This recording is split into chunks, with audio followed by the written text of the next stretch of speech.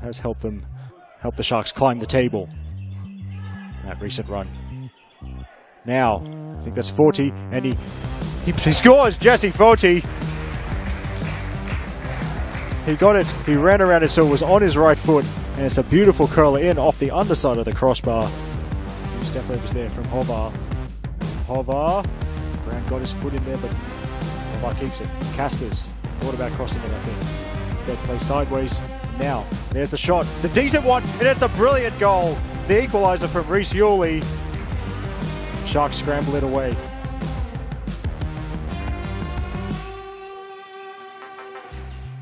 Now stood up and Rose, oh, does he get the second touch? It's Connor Rose! And he's beaten everyone to the ball. Connor Rose has put Sutherland Sharks in front. Gives it back to Nicolau. Looking to slide through. Armisen. Could be building here for Apia. A great save by. Oh, it's in! It's gone in!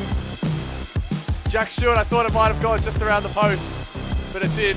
Jack Stewart wasn't to be denied. Marlowe's header. Who's allowed to bounce, but Otakura tried to intervene. Askew finding himself further forward. Here's Dakota Askew sliding it out to Rory Jordan. Here's Rory Jordan, and well finished. Askew familiar combination with Rory Jordan in a similar position to where he scored. Still Rory Jordan. Now Simmons. And make it number three for Apia. They're truly informed this evening.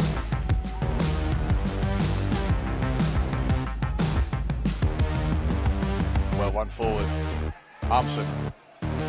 Sliding it wide. Five Simmons. And number two for Sean Simmons. Number four for Apia. Sky. Spirit bring it down. And Armson immediately looking for Sean Simmons, who has pace. This could be his hat trick. Sean Simmons has an open goal to aim for. And he gets his hat trick. It's been that kind of night for Sean Simmons and Apia. It's going to be a great battle. Ollie Puflett dropping deep now. It does brilliantly. Threads the ball through. This is lovely football. It's Parkhouse whips it across goal. And it's tapped in by Roy O'Donovan. Who else? It. With this magical right boot of his. Ball whipped in. Middle of the box. It's over Soros. It's whipped into the back post. And it fizzes around like a pinball machine. And then it's tapped home for Marconi. And now it's Fernandez looking to burst free. He's got Costanzo out to his left. He finds him. Speranza's making the overlapping run. Costanzo goes himself, has a little bit of space. Now it's Dominic Costanzo! What a goal! Domenico Costanzo scores again!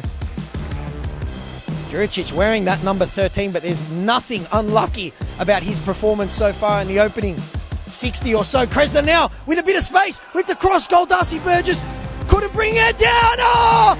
And it's hit across goal.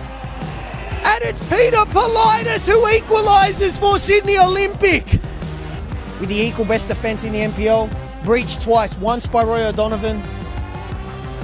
And then a beautiful goal from Peter Politis. Lovely switch of play there for Speranza. Giorgio plays Costanzo. These two have linked up plenty of times. Looking very dangerous as Costanzo whips it in! And it's a fantastic goal! It's Cimenti! And this time Costanzo goes from goal scorer to provider. Excellent cross. And then it's flicked in by Cimenti. He sends that one long. Van Mewers deals with it. Oh, lovely ball. It's Christopher Hatfield. Can he seal it for Marconi? Yes, he can. The Marconi Stallions are going to win this football game. Harvey and Elrich are in there as well. It's a great chance, and Georgievich, what a terrific header in his first season here at the Mount Druitt Town Rangers. Georgievich attacked it at the near post. Now it's back out through Pecora. It's a decent delivery, and what an effort that is! Sensational from that man again, Marcus Eunice, with a stunning side volley to equalise there. We haven't seen a different scorer all the way back to round eight. So it's been a, a dry spell apart from Smith. Oh, what a mistake this is! This is a mistake that's been punished. Excellent work from Katsuda.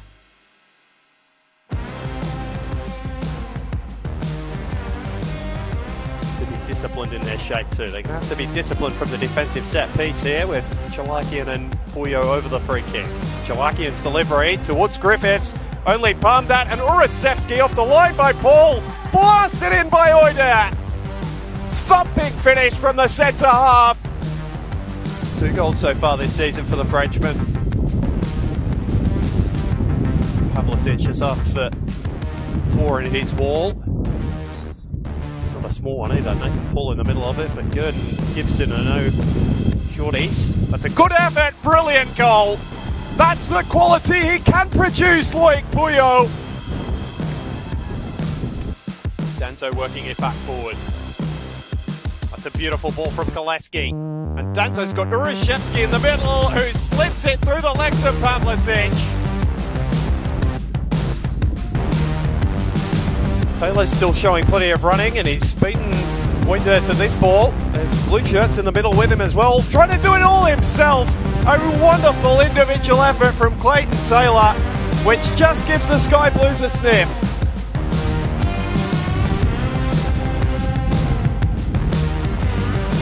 Much looking for that man again, and he did enough to get it flicked on. Burashevsky, wrong side of the defence, pumped away by Pavlicic, and Casella with the easiest of tap ins to seal the three points for Rockdale.